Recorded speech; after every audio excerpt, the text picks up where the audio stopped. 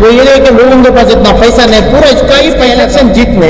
अभी इसके बाद एक पचास हज़ार से एक लाख करोड़ बनाने के लिए उसे सीएम के साढ़े छह करोड़ बेकार बैठे हैं और बेकार ये चीज़ों के उनके जलजले में आ गए। कि भाई इनको अरेस्ट मत करो केस चलाओ। तो ये केस चल रही है केस को आते भी नहीं पुलिस इनकी है। केस में बी एस येडियुरप्पा जी की केस चेयर छुटी है मगर वो चेयर में उन्हें चेयर साफ़ करने इसमें बैठने की कोशिश कर रहा है। वो बैठेगा भी और इसके बाद भी दो हज़ार जुडिशियल हमें मैं पूछूँगा जुडिशियल कस्टडी को तुरंत लो अंदर। पुलिस का अरेस्ट नहीं अभी तुरंत लो। मेरी प्रेयर कोर्ट के सामने और वो चंद दिन बहुत तकलीफ़ कर्नाटक के लोगों के ऊपर उनको पता ही नहीं उनके नाम से लोन लिया गया। मैं रेस्पेक्टेड हानरेबल कोर्ट से बहुत जल्दी उसके ऊपर चार्जशीट कराने की रोजी छीन के हर गरीब हर फार्मर मरने से रोकना चाहता हूँ। आठ हज़ार करोड़ का जो टर्नओवर करना है, वो एरिया के लोगों के पास इतना पैसा नहीं पूरा इसका ही पैसा डाल के, सरकारी नाबार्ड का पैसा किसानों के नाम से लेके, और उसका अपना जो चुराया हुआ पैसा पब्लिक का पैसा, साढ़े छह करोड़ के लोगों का पैसा कैश में डिपॉजिट करके, वो उसको डाइवर्ट करने की कोशिश करके 2023 का इलेक्शन जीतने, अभी इसके बाद एक पचास हज़ार से एक लाख करोड़ बनाने के लिए, उसे सीएम के चेयर को भी, उसे मंजूरी ले रहा है ऑलमोस्ट उसको मंजूरी मिली है। और मंजूरी वो मिलने दो, मेरे को इसमें कोई चिंता नहीं है। 2023 के इलेक्शन में ये लोगों के सामने, ये लोग समझ के इनके ऊपर क्या चल रहा है? ये लोगों के ऊपर कौन हुकूमत कर रहे हैं? कौन बैठा है दिल्ली से? क्या कर रहा है? ये बताना चाह रहा हूँ मैं। ये 2023 की कोशिश में इनू लगे हैं। ये लोग साढ़े छह करोड़ बेकार बैठे हैं और बेकार ये चीज़ों के उनके जलजले में आ गए उनके दबाव में आ गए हैं। मगर डिसीज़न लेना इनू ही है। ये डिसीज़न इन्हें जो लेना है, इसकी कोई चिंता जो दिल्ली में बैठा है वो लोगों को नहीं है। कोर्ट में ये उसमें कोर्ट चल रहा है। सुप्रीम कोर्ट में बोला गया कि भाई इनको अरेस्ट मत करो, केस चलाओ। तो ये केस चल रही है, केस को आते भी नहीं, पुलिस इनकी है। अब इसमें बुलाना है, आरोपी मान्य करके बुलाते नहीं तो इसलिए इनको आगे कोर्ट में बुला नहीं रहे हैं, क्योंकि वो आरोपी के नाम से कैबिनेट और हॉनरेबल चीफ मिनिस्टर का नाम जोड़ के रखा है। ये सरासर गलत है। उन्होंने चाहे उसको कन्विक दो, या मेरे को कन्विक दो इन्होंने तुरंत ये चेयर छोड़ना चाहिए था। और इसी केस में ही बी एस येडियुरप्पा जी की केस चेयर छुटी है मगर वो चेयर में उन्हें चेयर साफ़ करे और भी अच्छा गंदा आदमी इसमें बैठने की कोशिश कर रहा है वो बैठेगा भी और इसके बाद भी 2023 में ही इसका पूरा रिज़ल्ट निकलेगा 2023 बहुत ज़्यादा दूर नहीं है। अलिगेशन से ही हाई कोर्ट यानी लोकल कोर्ट और सुप्रीम कोर्ट में चल रहा है। और इनको पता है बहुत जल्दी लेंगे। बहुत जल्दी है ना इसके ऊपर स्टे देने का ही नहीं एक में स्टे दिया नहीं। दोनों एलिगेशन से एक में तो जाओ आप प्रोसीड हो जाओ। जब प्रोसीड हो गए तो जुडिशियल कस्टडी को लेने की पूरी संभावना है। जुडिशियल कस्टडी जैसे आके खड़ेंगे जुडिशियल हमें मैं पूछूँगा जुडिशियल कस्टडी को तुरंत लो अंदर।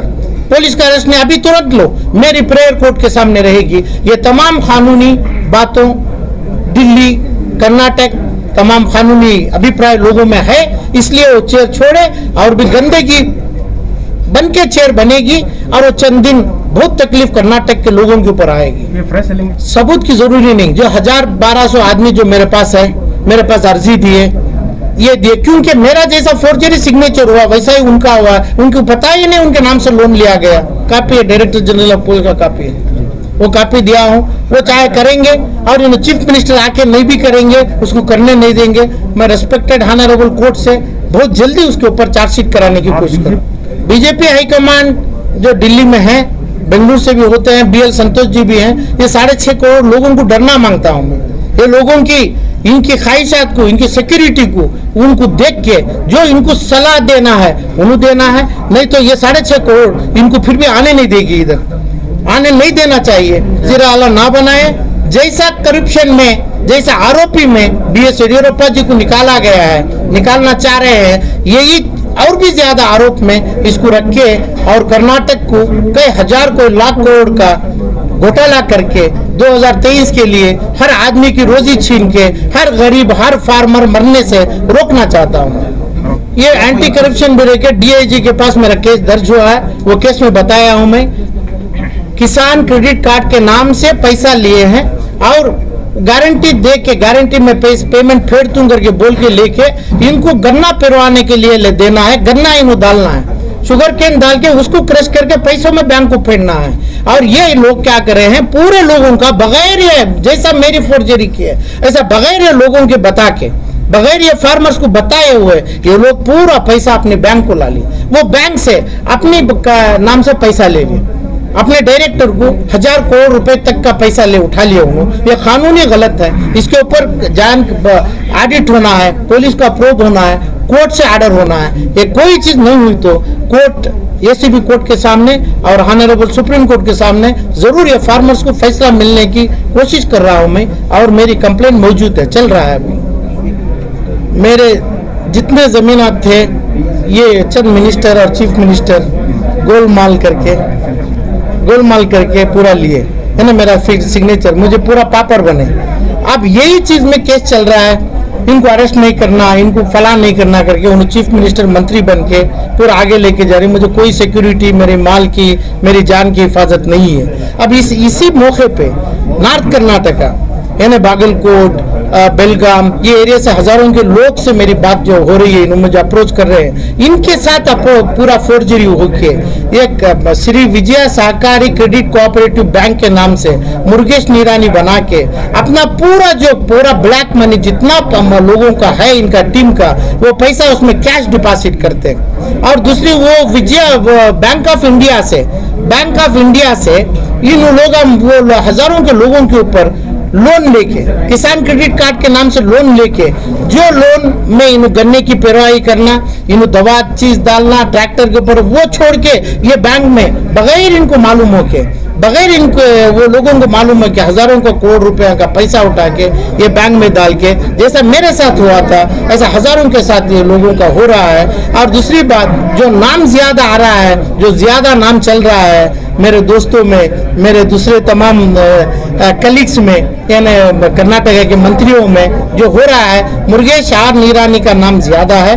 मुर्गेश आर निरानी का सपोर्ट है। और मुर्गेश आर निरानी एक होम मिनिस्टर का बेटा मेरा पार्टनर है मेरी इंडस्ट्री में करके बोल के जो इंडस्ट्री में दो हज़ार ढाई हज़ार करोड़ रुपए लोन लिया है वो फैक्ट्री को लाइसेंस नहीं है और पुराना माल पूरा लेके स्क्रैप मटेरियल लेके डाल के कर रहा है। कई हज़ार फार्मर्स का पैसा लूटा है कई लाख फार्मर्स का, का पैसा लूट के उसको पैसा बगैर दे के सता रहा है। और ये विजया श्री बैंक उसके नाम से ये पोली बैंक एक स्कैम बैंक बना के बता के पैसा लूटने के लिए चीफ मिनिस्टर बन के, चीफ मिनिस्टर में कई हज़ार करोड़ रुपए लूट के ये पैसा 2023 का इलेक्शन में चला सकता हूँ। मैं 2023 को बीजेपी को ला सकता हूँ करके बोल के वो वादे से आ रहा है। उन्हें आया तो 2023 के इलेक्शन में छह साढ़े छह करोड़ ये कन्नडिगास ये फार्मर्स ये हर जात वाले हमारे भाइयों में, ये तमाम में ये मैसेज है कि भाई जो भाजपा के लोग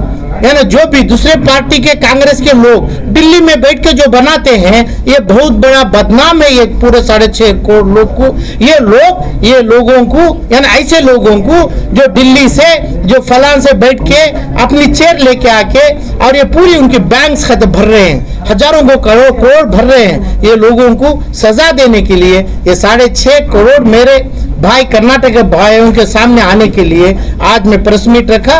ये लोगों के साढ़े छह करोड़ लोगों की कोई कीमत जो दिल्ली में बैठा है, जो कांग्रेस के रो, चाहे वो अपने बीजेपी के लीडरों को हो, कोई कीमत है साढ़े छह करोड़ के लोगों की? नहीं। इसका वजह, ऐसे बैंक्स बनते हैं, ऐसे तमाम करते हैं। गरीबों को चुनते नहीं। बड़े बिज़नेस लोगों के, बड़े इंडस्ट्रियलिस्ट को। कौन चार बार जेल को गया है? कौन चार बार चालीस केसेस है?